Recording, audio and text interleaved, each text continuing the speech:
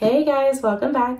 So I got a new projector, this one right here. I just got it and it's working great. I already set it up, um, calibrated it and did everything with it. Um, and I recorded everything so that you guys can follow along and kind of see what I did with it. Um, but like I said, so far it's working great. I love it. It has a really cool feature, which is the screen mirroring feature, which allows you to screen mirror without the cords, except for the power cord like that one, um, which is nice because the cords kind of get messy sometimes. Um, so yeah, I really like it. Um, it is the Vankyo Leisure 470. I'm going to link it down below. Um, you can get it there. Also, if you use the coupon code sew with Haidee, um, you get 30% off, which is an awesome deal. So if you've been wanting a projector, definitely go get this one. Um, it's working great and you get a cool discount. So check it out. All right, let's get to it.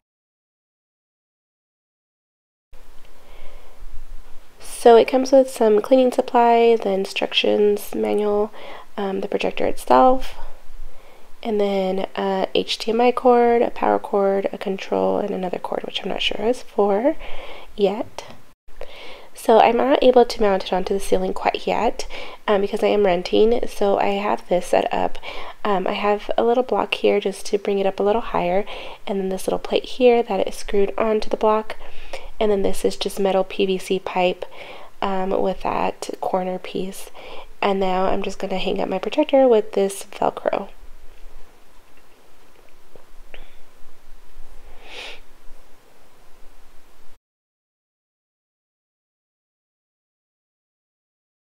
So once that's up, you're going to want to measure from your cutting mat to your lens just to make sure you have enough room. The instructions said about 60 is good for what we're going to be using it for. So once I turned it on, it was kind of blurry, so I just moved this over a little bit until it sharpened up a little bit. And now it looks a lot better. And so now um, when you turn it on, it's going to have this. You're going to pick your language. Mine was English, so I picked English. So now I'm going to show you how to hook it up using a cord. Um, so this is an HDMI cord. I'm going to hook it up to the projector up here. Um, and there's a couple places you can plug it in. You can use the HDMI 1, the HD 2, or um, you could even use a USB port. Um, whatever you end up plugging into, make sure you remember that. Alright, so now grab your uh, control and you're going to press this, uh, it's the source button, and you're going to go down to whatever you plugged into. So if it's the USB or the HD 1 or 2, um, and click that one. And now it will show up like this. So now you're going to take your HDMI cord and you're going to plug it into your computer. I have to use this adapter but if you don't need to you can plug it right into your computer. Um, turn on that computer and you should be projecting just like that. It's pretty simple easy way to project. Okay, so that was one way to get uh, your computer to start um, projecting onto your cutting mat but there's also an option to do the screen mirroring um, and that way you won't need to hook up any cords. Your computer can just be anywhere um, and you can uh, project that way. So I'm gonna try to set that up and show you guys. Okay, so grab your controller, you're gonna push that source button again and you're gonna go down to where it says screen mirroring. You're gonna press on that one and then you are going to set up your Wi-Fi first on um, how to get your computer connected to the um, projector Wi-Fi. So, sorry I flipped my phone, but first go onto your Wi-Fi. You're going to scroll down to where it says Leisure 470, and you're going to click on that one. You're going to put in the password. The password is in the instruction manual, um, and it's just 1, 2, 3, 4, 5, 6, 7, 8, I believe. Okay, so now you're going to go to this website here, which is just a few numbers with periods in between, and it's going to bring up this. You're going to click on that, and then you're going to click on where it says scan. And then it's going to bring up the Wi-Fi. So you're going to click on your home uh, Wi-Fi router. And then you'll just scroll down to the bottom and put in your password. Um, once you do that, it should be um, connected. So now your screen will look like this when you're projecting. That's how you know you're good. So then you're going to go over back to your computer and you're to find your Wi-Fi again. Click on it and then you're going to click on the one that says the Leisure 470. Click on that, wait for it to connect, and then you are going to uh, click over to your screen mirroring. I have mine set up to be on my toolbar you can get that set up also if you go to your settings. So click on the screen mirroring and then you're going to click on that Leisure 470 and then it will connect. Alright, so then you'll be connected wirelessly and you'll be able to project that way.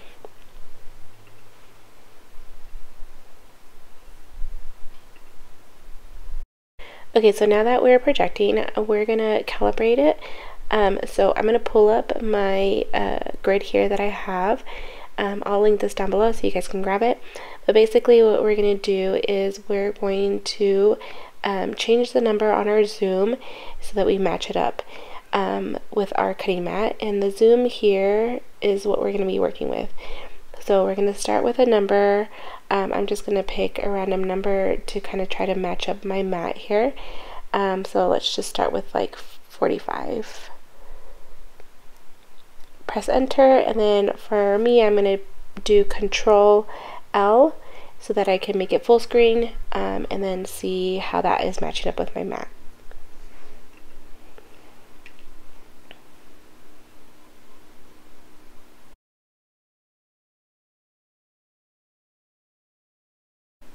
Okay, so I'm going to move my mat around. I'm going to try to get that yellow a square in the middle line up with my square in my mat.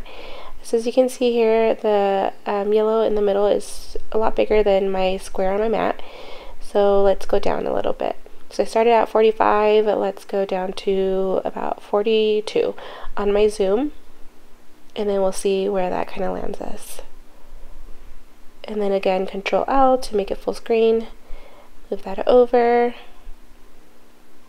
And then I'm going to move my mat into that square. And as I can see here it's looking a little better but it's still not quite um, where it needs to be.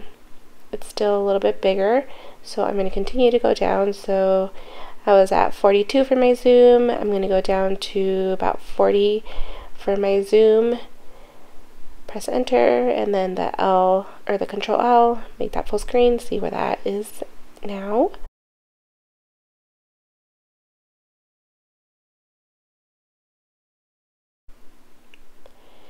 Alright, so let's move that around so I can line that up. Um, and then as I can see here, um, the middle box or square is starting to look a lot better. I feel like that looks pretty good in there. Um, so just make sure that's lined up well.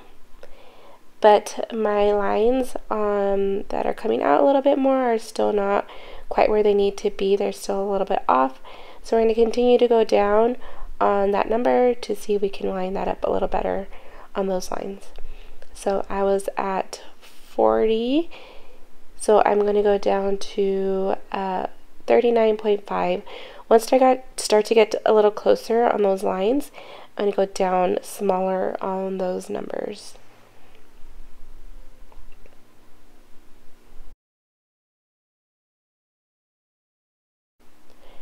Okay, so again, looking at in the middle, still super off on my sidelines. Um, so we're just going to continue what we're doing.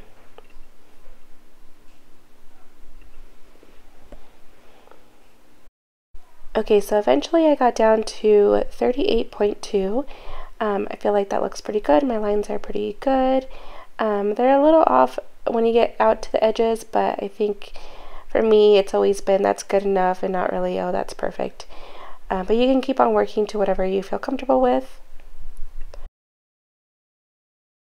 Also, if you move up this around, it will move uh, your screen, it will kind of tilt it back and forth um, and you can use that also to adjust if you feel like it's not very straight but your zoom isn't helping with that.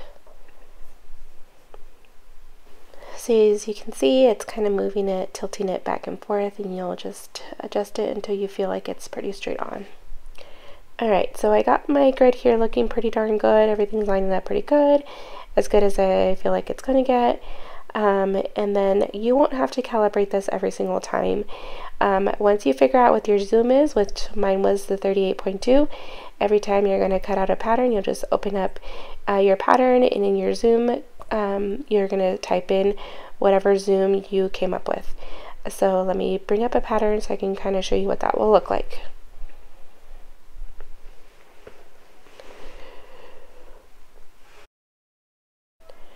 Okay, so once you pull up your pattern, a lot of the patterns are going to have some kind of grid or a one inch uh, box just to kind of verify that your zoom is correct and kind of just double triple check yourself um, before you start cutting anything out. So as you can see, mine's up here. There's a little box there that I can use. So go up to your zoom and you're going to put in the number that you came up with. So mine was the 38.2. I'm going to plug that in and uh, set it up.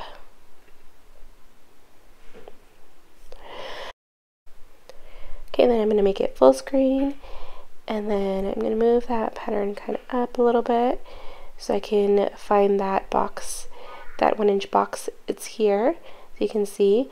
I'm going to take my uh, measuring gauge and I'm just going to measure and make sure that everything is lining up well. So on that one inch box, just I'm going to make sure that that's one inch going across and upwards. And then you can check that other box that they have there um, and mine looks pretty good. Measured out one box, and you can also use this grid here that they have. I don't usually like to use that, but you can if you would like.